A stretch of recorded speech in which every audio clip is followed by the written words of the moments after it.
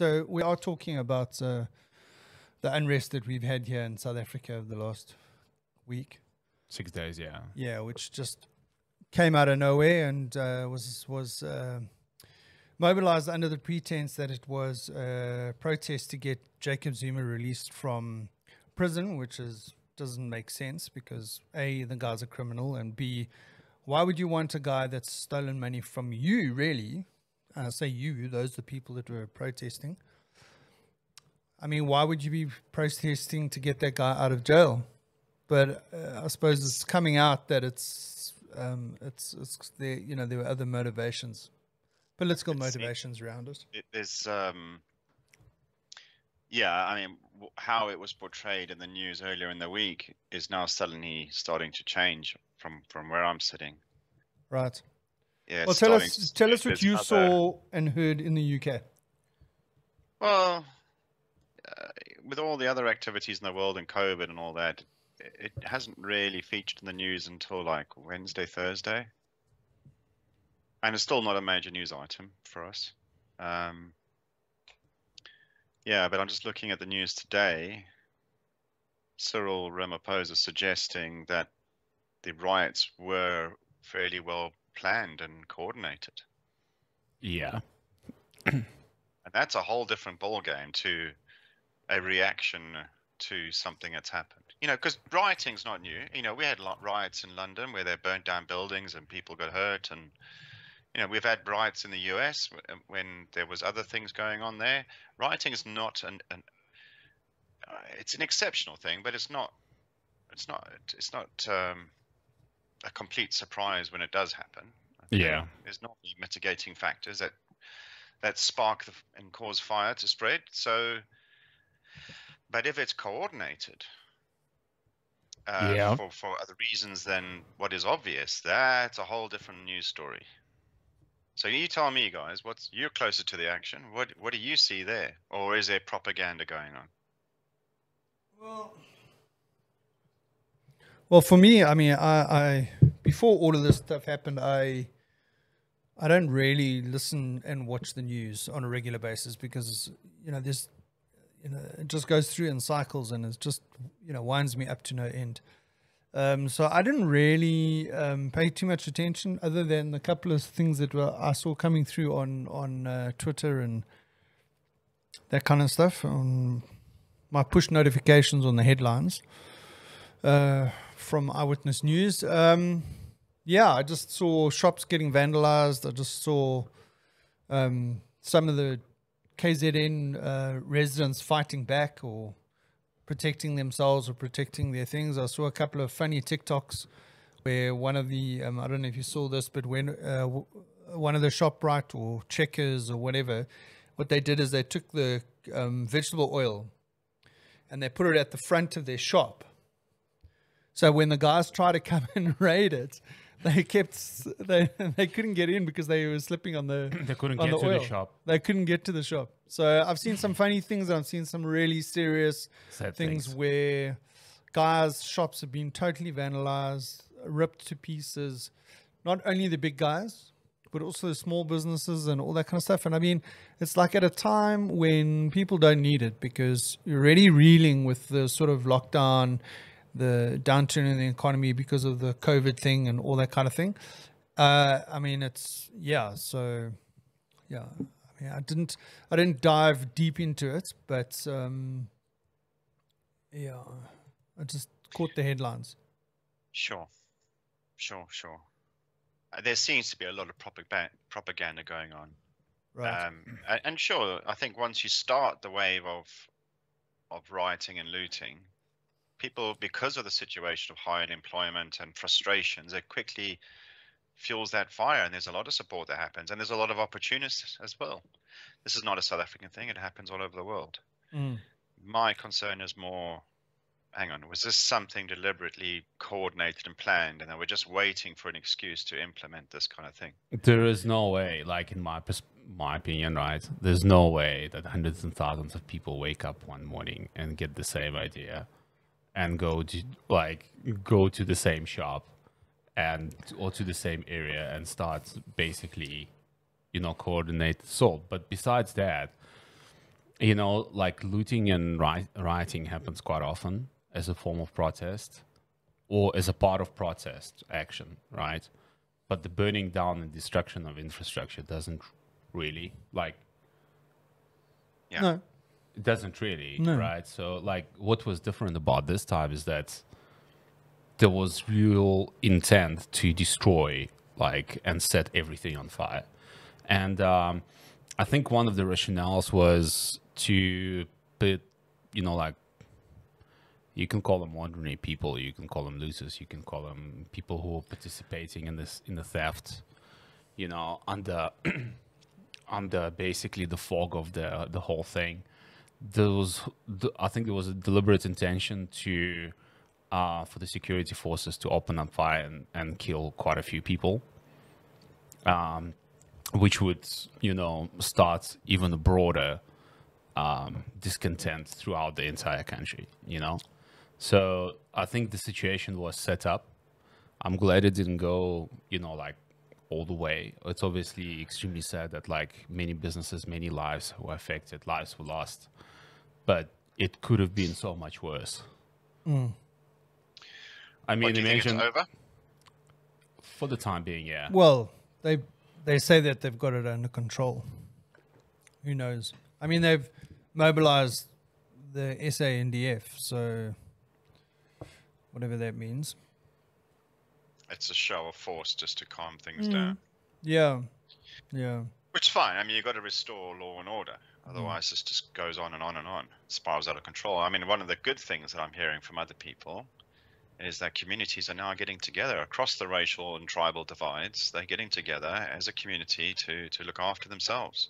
mm, that's true. That's Yeah. true. So, And that's, like, you that's might great. find, I mean, the unity that comes out of this, and it's not one area. This is happening all over the place. So, you know, this is the Rainbow Nation that was forecast many years ago. Yeah, yeah. Look, I mean, I saw a couple of tweets from, say, let's say the previously disadvantaged community saying that, listen, you know, even under the old government, we were poor, but we never resorted to theft to survive. Yeah. Um, okay, I mean that's a generalization. It's one person or a couple of people that are tweeting that. But what I'm saying is, it's coming from, it's coming from that community. You know, the kind of people that are saying they don't understand why this is happening because even when they were poor under the previous government, you know, they never re- resorted to, you know, there were protests back then, but they never um, resulted in, in, in looting like that. So and it's just criminality, really. It's not. I mean, if you've got a, um, I would put it. I would put it in a different way, right? Yeah. It's like I could understand on a pure human level, right? If like shops were looted and the only thing that was taken was food items, right? fair enough. I would understand Absolutely. that. I would totally understand that. You know, because it's like this is a lot of very poor and you know historically disadvantaged people that you know right now job opportunities are extremely scarce struggling to like just physically survive get food on the table very hmm. basic needs i could understand that but it's like to the large extent the food items were taken right but to the large extent like everything was taken and that's just pure greed Like you're talking about electronics and that kind of stuff. yeah everything. See, they might, they might, they might like- argue and say, well, they're taking electronics because they would be able to resell them and earn money. You know, like mm-hmm. instead of taking food. I'm not, I'm not, I'm not saying that that's right. I'm just saying that they could, you know, who, argue. who, who are you going to Oh, resell there's it to? opportunists, right? If there's mayhem and carnage and the looting has already started, and you're going to go, go, well, hello, yeah only six months from Christmas, let's go shopping. there was a there was an article that well not an article but yeah there was an article that one of the chief executive officers of some like wealth management fund got busted because he got filmed in one of the I'm not sure which shop or store it was but he was filmed stealing uh, like a stove, a braai stand, and a few other things. And the dude's number plate, and he is clearly visible in the, in the video. And people obviously like when they saw it, they identified him, and then obviously the police can trace who's the owner of that vehicle. you know.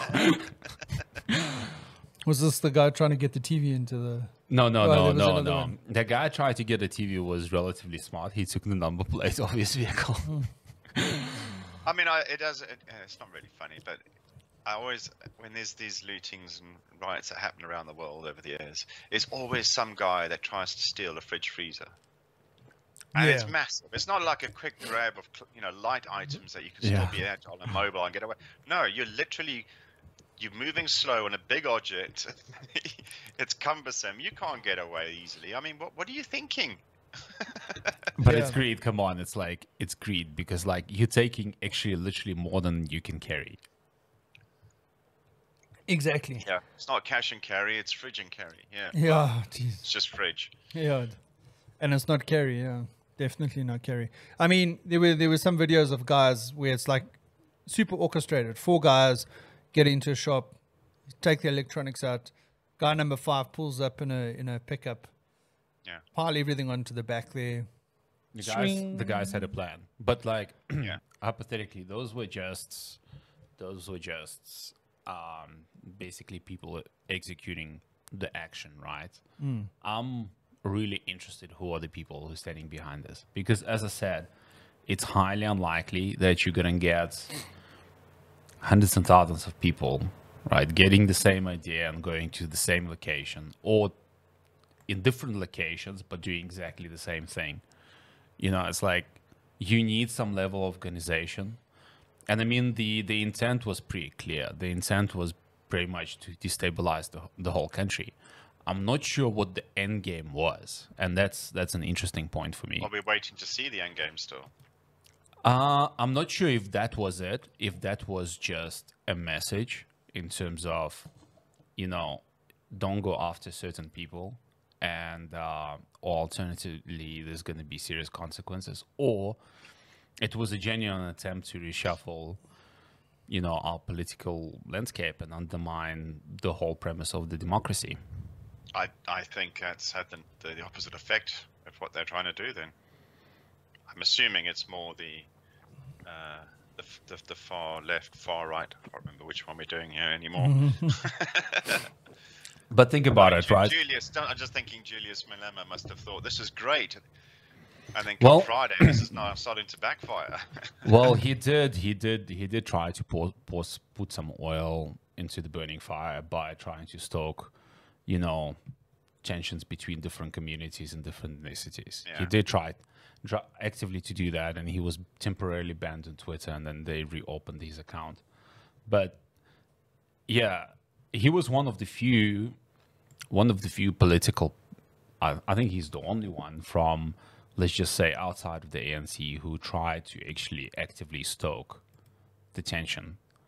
Um, it was there was even there was even a comment from him saying that you know like if you guys send in the army, we're gonna send in the fighters on the streets to support these guys, and I'm like, what are you trying to do, man? How do you think this is going to end? Yeah, like what are you trying to do? It's like you're basically making a really bad situation even worse. Hmm. You know, like if you're not willing to be part of the solution, just take a chill pill, sit down, and just have some chamomile tea, man. So, do you think? But do you think uh, a guy like Julius Malema, he just um, climbs on the bandwagon of anything Yeah. that's going? He just Absolutely. he's just constantly looking for something to use as a as Yeah. a Yeah, for for leverage sure. or whatever. Yeah, for sure. Plus, he's trying to like obviously play to his audience, and Yeah, you know, um, his audience are basically people who were marginalized and disadvantaged and buy into his whole narrative, you know. So that's basically that's basically it, you know. But he, luckily, he was like one of the few. The rest of the the rest of the political uh, parties and forces um, actually took a reasonable approach and tried to be like more of a part of a solution than a part of a problem. yeah. You know. Oh, it's good though. It's good. But no, I mean the one thing that that that always concerns me about these kind of things, and I I, I- I saw this happening on our sort of WhatsApp group in our area in our Yeah. suburbs, is like fake news. someone hearing a story and this story propagating across all the different Facebook, on Facebook, uh, WhatsApp groups and whatever, photos or videos that either weren't of the current situation, had come from another country, maybe in some cases, Yeah. a photograph that's been photoshopped or, or, or whatever. yeah. Yeah. Uh, and I mean, so even I mean, even if this thing was orca- I mean, if this thing was orchestrated or whatever, the people that are that that are uh, controlling the situation or um, making things happen, they could have all these resources at their disposal and start sending out all this kind of stuff to fuel the sort of like, because I mean, there was panic amongst residents and that kind of stuff because you know they heard all these stories that you know like um, you know these shops are getting closed and the guys are on their way and they're marching from here to there. Yeah, and then you're seeing all these photos and videos which might not have even been part of the Yeah, yeah. actual thing that i mean so how do we going forward make sure that we don't get sucked into fake news how do we how do we verify the stuff. It's very difficult, Yeah. especially with some people that are doing their reface thing and posting it. Yeah, people want people grab onto things that they they can relate to or they think is real, and they're, they're not looking for the detail. They're Yeah, grabbing whatever's coming across. Social media is not going to help us on this front. yeah. No, no, no, no. But I mean, do you think? Do you think? Do you think like technology um, is like you know in the beginning they're using this technology to propagate this stuff and Photoshop stuff and reface stuff or whatever. but I mean, do you think? Do you think that technology will be also the thing that helps us filter that stuff out as well? Um, I think it's a question. I think that content. I think I think it's it's gonna be more prominent, you know, in the f- Yeah. in the future, and it's going to be a lot harder to distinguish, um, you know, fake news from the actual true story, right? And like my mo- my modulus of operandi, like for example, say in this situation, right, over the last six days, is like I'm gonna just check the the sources that I trust. Like I trust my basically um, security company, right? I trust the official C, um, SAPS Yeah. uh, briefs, although they might come late, but they're still fairly factual, you know. Um, everything else that you see on social media can yeah, that's quite key because they're not going to have emotion in their statements. It's No, it no, no. is fact, fact, fact, fact. Whereas if you're going to get something that's broadcast as a news yeah. item, it's Yeah. going to have emotion in it. It's going to Yeah. have views. it's going to be portrayed in the way they want it to be portrayed for sensationalism or, or I'm just thinking back to when there was all those, and it's still ongoing, the, the demonstrations in in the US with around Black Lives Matter. Hmm and uh, there was this incident where there was this rally and this uber driver somehow ended up in the middle of this rally. And uh, one of the people in the in, uh, took an ak-47 out to shoot him and he defended himself. And it was a right cock up of a story you know. But so depending on which side you're on the various news channels that covered this footage because there is footage of it they Mhm. edited the footage just to have more of a bearing on their positioning on the story Mm. because of what that news channel is associated with or what they want to tell as a story. They won't tell both sides. They'll tell the Yeah. side that they want, and they will, they'll sensationalize it. And and that is where we are in in the in the world today. All all the news agencies are going to do that. It's very rare for somebody to have a neutral view.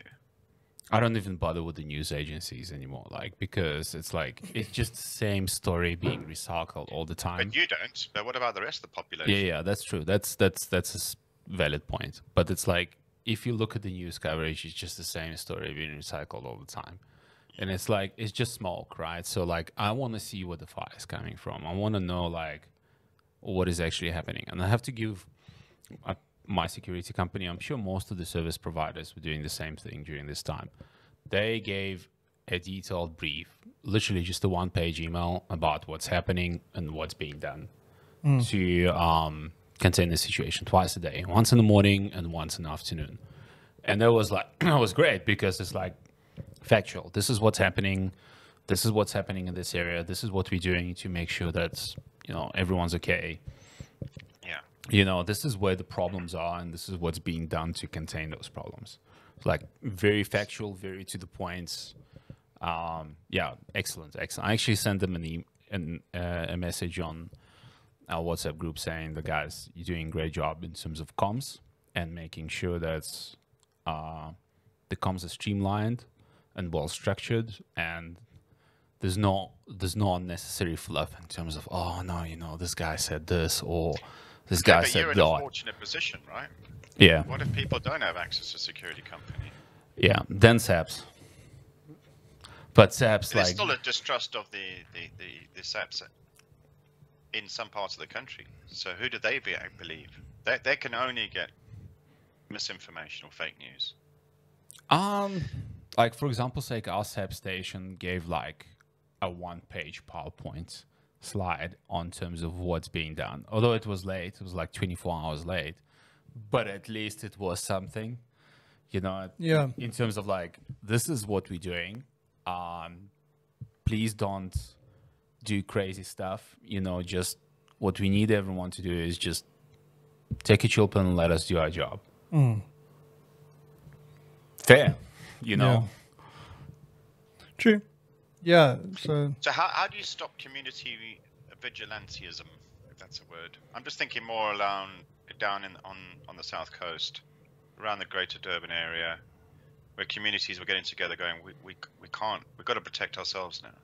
what did you That's hear? Did you hear that Cyril uh, commended these people for defending their stuff? Yeah, yeah, yeah, yeah. but Thank you. We'll take that that- as a as a as a plus. So what they they go and all gather together as a community. Great, that's good. Oh, hang on, we're blocking off our whole village, our town, or whatever it is, all access roads. If you're going to come our way, you're going to have to get through this barricade. Mm. Hang on, how far do we go with this? Yeah, true, true. Uh, but I mean, I suppose, I suppose you know, it might. Let's say it wasn't the residents. Let's say it was the private security companies that were doing that. I mean, is that not what we would hope that our private security companies would do on our behalf? We're paying them. You, you obviously they're on your side, so you're going to support that. Yeah. yeah, yeah. But, But I mean, right? how do the police do they have the that? jurisdiction to do that? Well, What this is the them thing. the right? Well, I mean, no, but think about it this way. You know, like we live in, you know, in South Africa where the um, armed response um, often chase down uh, suspected burglars, sus- Yeah. suspected hijackers, and whatever, and Apprehend them. apprehend, shoot. I mean, That was that was the case when I worked for an armed response company when I was 19, what, 30, yeah, 30 years 30 ago. years ago. That was that was the status quo. then. Yeah. No, but what I'm saying is that if it was going to be an issue, uh, you know, from a South Africa police point of view, they would have already dealt with the situation and said, sorry, you're not allowed to do that. If you know what I mean? So other other the, you know, other the, they've created a, a, a situation where, uh, you know, these guys do have a little bit of, um, what's the right word?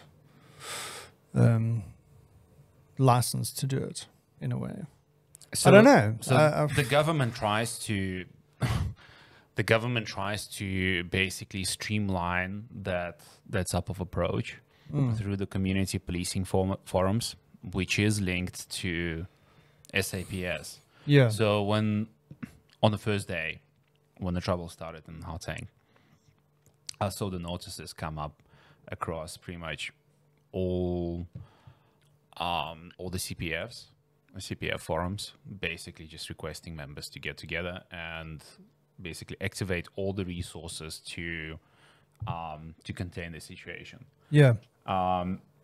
Those structures are really well developed in some areas and really not well developed in others right? So it depends on the level of organization on you know the type of suburb that you're staying in. But what you see what you were seeing in KZN many many suburbs many suburbs that's like banded together and they were showing on, on TV those were not like wealthy suburbs right? Or even like middle class suburbs those guys might not even have access to a you know private security provider that's or several private security providers that ha- can help them with that some like in many cases um, your only line of defense is basically your neighbor and people that live down the street from you. Yeah, no, it's true. I mean, you got to do what you got to do to like to make Protect sure your, yeah. I mean, especially if you're seeing them vandalizing shops and all that kind of stuff, so you know what they're capable of doing. Yeah.